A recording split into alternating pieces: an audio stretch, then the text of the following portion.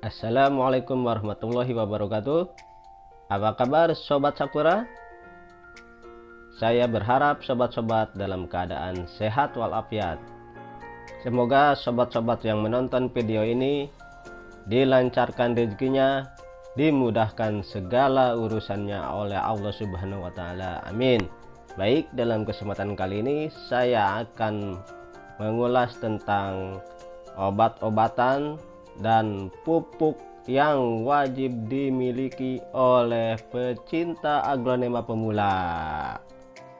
Tetapi sebelum itu, subscribe dulu, nyalakan lonceng, share ke media sosial sobat-sobat Sakura semuanya, komen yang bermanfaat. Terima kasih.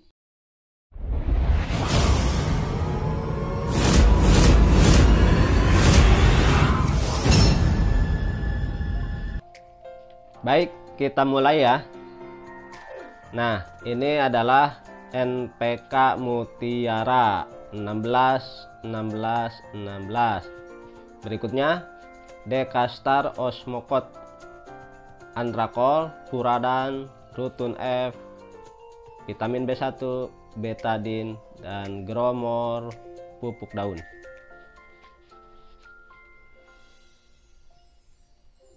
Nah, Pupuk yang pertama adalah pupuk NPK Mutiara 16 16 16. Pupuk ini pupuk berimbang dikarenakan kandungan unsur hara N nitrogen, P fosfor, K kalium itu sangat berimbang.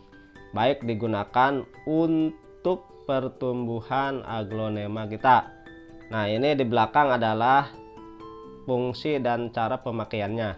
Adapun harganya sangat murah sobat Sagura hanya 18.000 per kilo. Selanjutnya adalah Osmokot 13 13 13 atau sering dikatakan adalah pupuk dekastar pupuk ini pupuk slow release nah karena proses pelarutan pupuk ini sangat lambat sekali. Biasanya di aglonema dipergunakan tiga bulan sekali. Cara pemakaiannya dengan ditimbun di samping akar agar mudah terserap oleh aglonema itu sendiri. Harganya sendiri lumayan mahal yang 550 gram harganya Rp90.000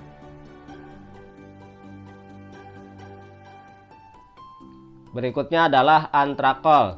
Ini berfungsi untuk mensterilkan media tanam kita.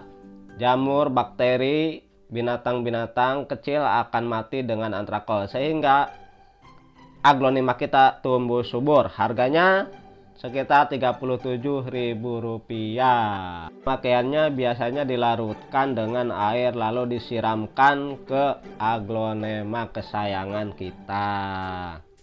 Dan berikutnya adalah puradan. Puradan ini berfungsi untuk membunuh binatang-binatang yang terdapat di dalam media tanam pot aglonema kita. Berfungsi sebagai insektisida. Serangga, cacing, dan hama lainnya akan mati dengan puradan ini. Digunakannya ditaburkan di pot kita. Harga puradan lumayan murah ya 30.000 per 1 kilo.